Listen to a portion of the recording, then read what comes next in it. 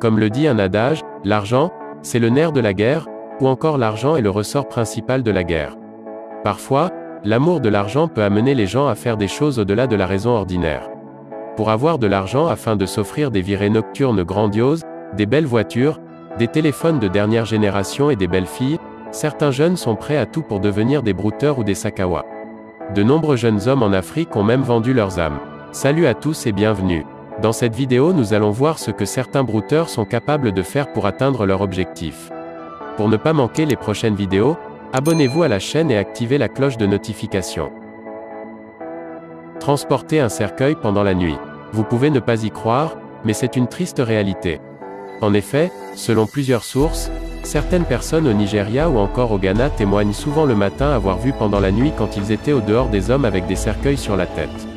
Un incident s'est produit dans le district d'Atwimamania dans la région d'Ashanti au Ghana, après qu'un homme présumé, Sakawa, a été arrêté au milieu de la nuit vers 1h du matin portant un cercueil blanc enveloppé de papier brun sur sa voiture Toyota Corolla.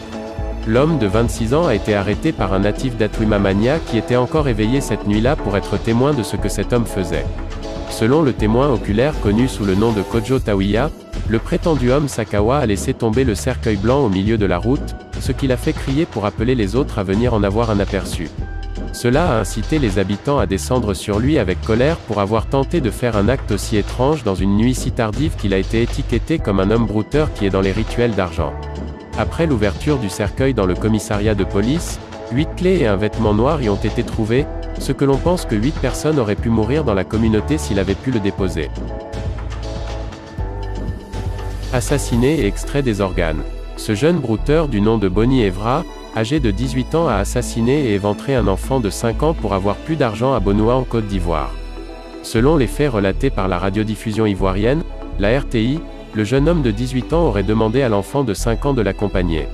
Le connaissant, l'enfant le suivit jusqu'au lieu de son sale besogne.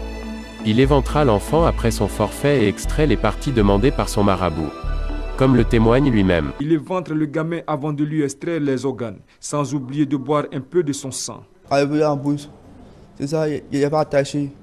Il, a, attrapé son cou, qu'il ne peut pas pleurer.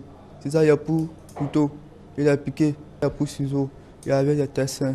Il a tué sa paroi, même bouteille. Si toi-même, tu as lancé les du camp pour travailler, tu n'as pas trouvé l'argent vide, là tu dois attacher les blancs. Là où il a causé, là où il a tombé d'accord, il va t'amener l'argent. Fouiller des tombes. La police du district d'Aoutou-Brekou a arrêté en août 2018 un homme de 23 ans, qui était en possession de parties humaines dans un cimetière de Gomoa Fete Kakraba dans la région centrale.